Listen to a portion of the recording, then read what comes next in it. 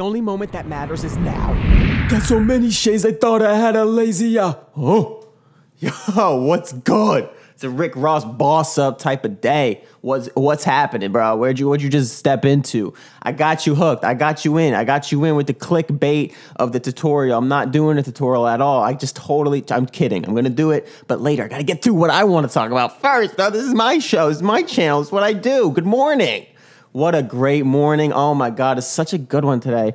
I'm gonna tell you real quick. I had a dream I was with Kevin Hart and I was like making him laugh. I said something about like me catching something. I was like, yo, I snatched that. He's and he like looked at me weird. And then like later, it was like a compound joke because we were like playing football or something because I played a lot of sports yesterday. And then I did it again. Yo, snatched. And he was cracking up. And the, the thought of like me making Kevin Hart crack up was like greatest in history. So when, when it happens in the future, when I manifest it and I'm with in, in the comedian circle and I love them, and you make your peers laugh. That's what it's about. That's what it's respect to the peers. That's what this tutorial is about.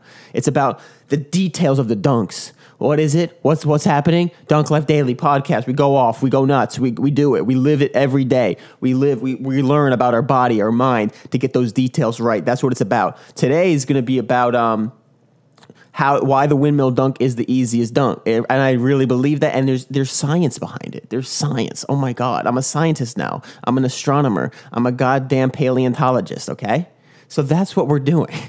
That's what we're doing. I got to go to Trader Joe's today because oh, you know what? Today's grocery day. I went to my friend's yesterday to celebrate his birthday, and I'm back. The week starts tomorrow. I got to get all my groceries. I got to stay healthy on that health grind. And I, you know what? I uh, I looked in my fridge my shit looking scarce. Bro, I got I've been watching the free Meek documentary when he hit when he hooked up with Rick Ross, I'm just thinking, where did Rick Ross come from, dude? Like he just was like, huh? And the next thing you know, he's popping, dude. I'm gonna be bumping Rick Ross for the next fucking decade. He's awesome. I want to put that in my rap too. Make my own sound effect. I don't know. My rap dude got some hate. Usually my YouTube videos, which is impeccable, get like 99% positive likes, which is incredible love. Because I think you guys feel my love. Everything I do is positive. I, I mean, there's I don't lie. I put the rim heights. If it's a baby rim, you know that I work on every goddamn inch detail. I swear we'll get to the tutorial coming soon. I promise. And I get so much love, but that rap with the Lil Dicky one, my best rap of all time, the one I was most proud of, the one I felt was very good, got some dislikes, bro. It was like 92%. I'm like, yo, I'm doing something right because the haters came out. Come on, come on, come here. That's what I want. I want that. All right. That's all I got to say is that when you're doing something right, oh, two things. Ready for this one? Two things the haters come out to play, you know you do something right. And then the other thing, if you have any gay friends and then you post a mirror selfie and they all compliment it, you're looking good, kid. That's my tip of the day. If you po- if you if you want to know if your Instagram's popping off as a physique type of person, posting progress pictures of your um your skin, skin pictures, the gays come out. That's a compliment, bro. Call me gay all day. Uh, what's what's my line to my rap? I got pride in myself. I'm the gayest, bro. Let's go. And I want my fucking sexuality to be questionable, just like what Chris D'Elia says. Doesn't fucking matter. Okay. This is definitely a dunk tutorial, though, I promise. Here we go. Okay, so now why is the fucking, sorry, windmill most, um, the easiest dunk? Here we go. So if you look here, basic lob, I run, uh, these are warm up dunks. I use arm swing. The ball's up there. I can go get it, right? Um, hint, hint, off the dribble, same thing. I bring up the ball.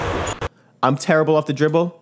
And the diff- uh, so that's going to be another video. Why I'm better off the lob than off the dribble, and I'm going to break that down. But I just wanted to give you a hint of how it starts and why the windmill. So the lob is the easiest because I go up, arm swing like this.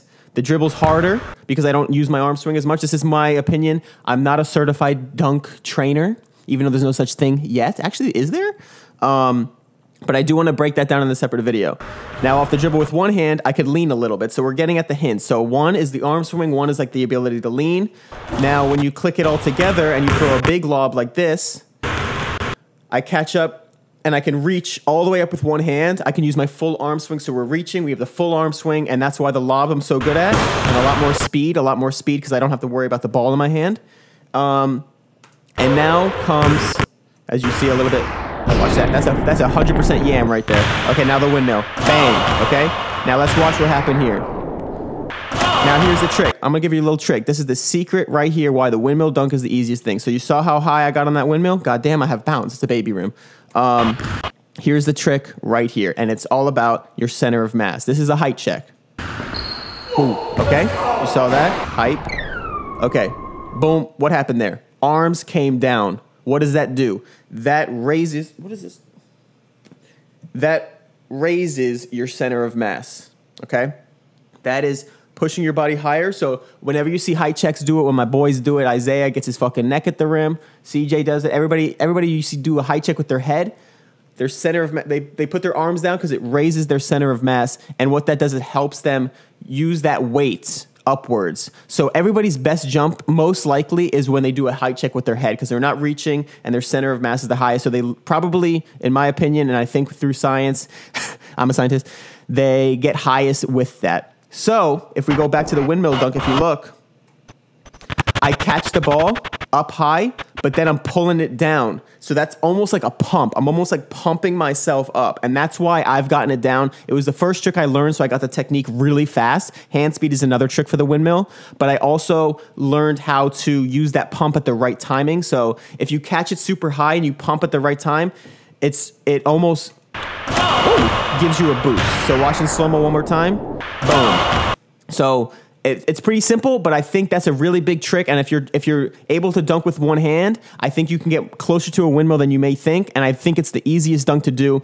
And I'll get back to why in another video why the two hands is the hardest dunk for me to do, especially off the dribble. But for now, the windmill's the easiest. You catch it, you get that sweet pump, you raise that center of mass, and you're pumping it as you're going up, and then you dunk it. So not only are you um, doing a sick trick, but you're getting a pump that's almost easier than just keeping your arms above your head. So that is a secret. And now you're on the inside. Welcome to the Dunk Life Daily where the insiders happen. If you're not in this, God, I mean, if you're in this, you're fucking loving it. AKA the Ponzi scheme is, is, is popping. And that's it. Um, and now for the actual podcast, for those that know what the podcast is about, we have to do on this day in history because so many cool things happen throughout history and we got to know about them. So what's today? Oh, I just saw a name that I like. August 25th, 1609, Galileo demonstrates his first telescope to the Venetian lawmakers. Now, here's a thing with Galileo that I actually know, which is a cool fact because your boy reads a little bit, okay? And I think this is true. So don't hold me to it, but I am a fucking historian as well in addition. Galileo was an artist and he used to paint landscapes and things like that. So he had to utilize shadows. So when he saw through his telescope on the moon, he saw craters on the moon. I'm just double checking this is still recording. He saw craters on the moon and he understood, or mountains, I think it was. He understood that there was like grooves or not grooves but like different landscapes on the moon because he understood shadows. People didn't know what they were seeing but since he was an uh, artist he understood shadows and that led him to discover the first mountain on the moon or something like that. But the point is his creative endeavors those things that he enjoyed helped him in his career and also his scientific endeavors. So do stuff you enjoy do the creative things because you don't know how they're going to overlap and i think that's where the magic happens and that's my tip of the day. Today in film, 1955, 16th Venice Film Festival, Ordet, directed by Carl Theodor Dreyer, wins Golden Lion. I have one more tidbit to say at the end of this to wrap this up, so stay tuned. 1998, The Miseducation of Lauryn Hill debut album by Lauryn Hill is released by five Grammy Albums of the Year. Okay, I don't care. Today in sport, 1960, AFL begins placing players' names on the back of their jerseys. Interesting. That's pretty cool. Um, so what I wanted to say, the little tidbit was that um, that windmill is like sometimes you got to go down to go up. You know, you got to think think about it. Like just because it's a trick doesn't mean it makes it harder. And so I'm going to go over those details a lot as I because I have so much experience um, with the dunk world, watching all my friends dunk and having like talk to them. I feel like there's so many dunks that look harder or look like a 360 is not really a 360. What do we call it? Things like that, and different plants and which plants are easier for things. That there's a lot of breakdowns I want to do. So I would love to know what you guys want to see or specific dunks. Uh, I think East Bay might be next, but I want to do why why I suck off the dribble is the title of the next video, and why I'm so much better off a lob. And I want to break that down completely, like I did today. So if you like today's video, I would love to know. Um, and if not, if you just want to get hype, fucking hype me up in the comments. You know that gives me energy. And then the next tomorrow we fucking shoot through the moon when we get on this podcast. Now the dunk lifer of the day, baby. Who is it? Who is it? Who is it?